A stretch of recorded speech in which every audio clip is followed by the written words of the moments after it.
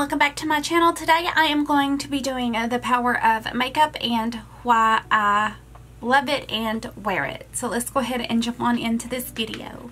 So typically I use my P. Louise base in Rumor to prime my eyelids, but for today I am going to go in with this Hard Candy Glamouflage.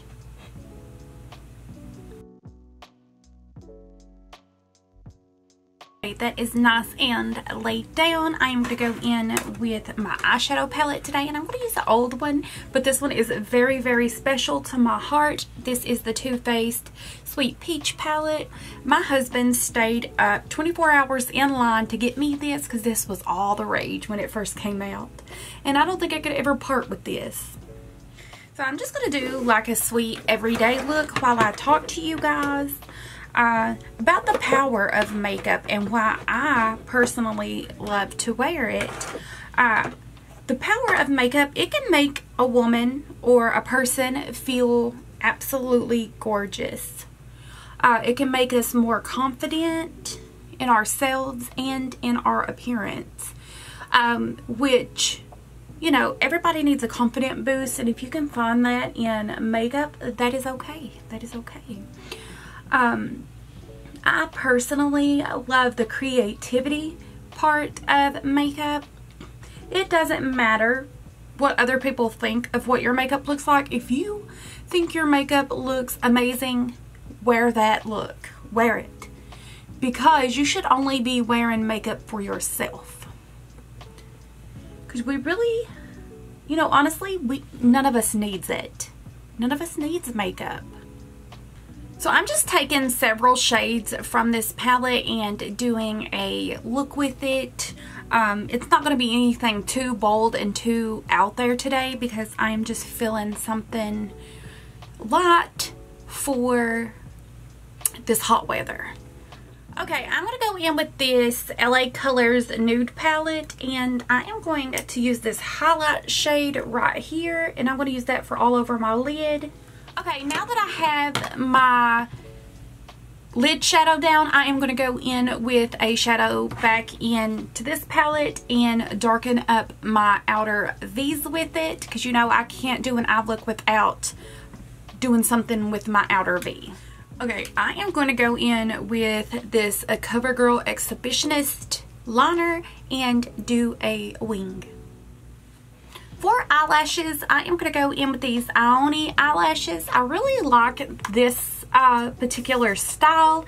It is light, it is wispy, it is more of an everyday kind of lash. And this one's in the style Natural Light Doll.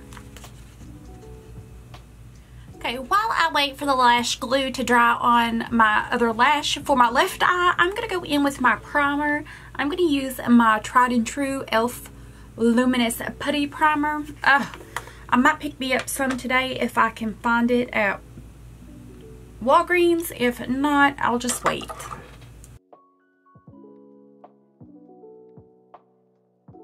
That primer goes with every foundation that I have in my collection. It's definitely a staple primer.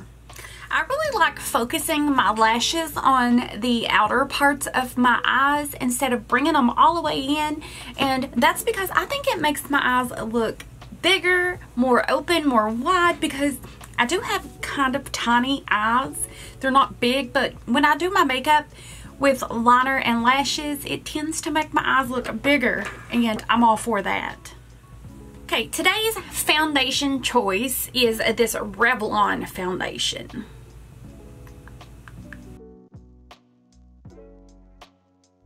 I think the key to foundation is if you have textured skin, such as large pores, acne scarring that is deep, that cause pitting, I believe, now this is just my opinion, uh, that more luminous and light coverage products looks better instead of matte full coverage.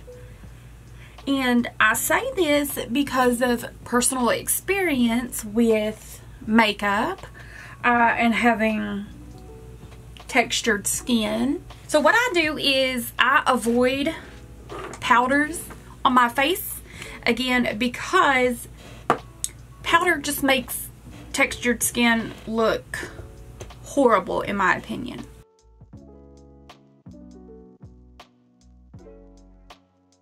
Because makeup is just clothing for your face. Okay, for bronzer, I am just going to go in with a different shade of that Merit Beauty, the Minimalist Stick here. And this one's in Tiger Eye. I, I recently got this one.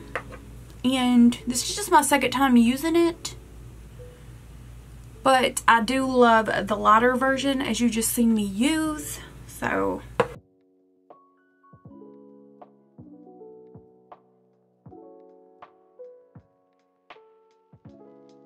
my brows are looking a little bit. So I'm gonna go in with my Ioni brow pencil.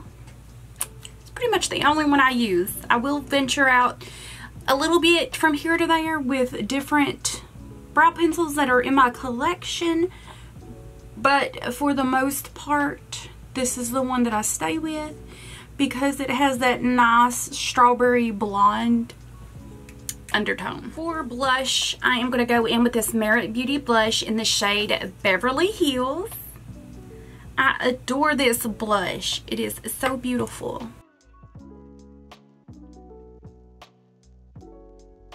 The great thing about these Merit Beauty products, you guys, is they all work so well not only together, but with other products. They're not going to disturb the products that you already have on your skin.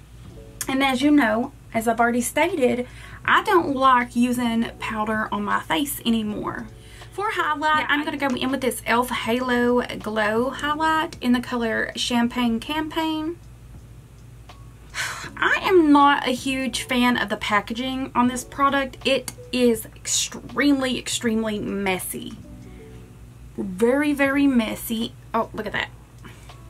It's if you squeeze any out, it's just going to keep coming out and it's going to just end up like this. Look at that. Look at all that extra product that's there.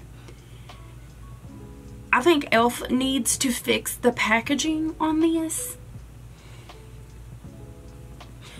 And I'm not squeezing a lot out. I'm not squeezing a lot out. And look at it. It's so, here.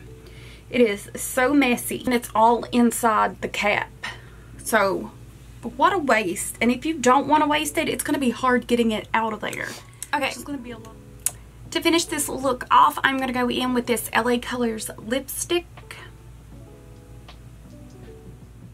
Okay, this is the finished look.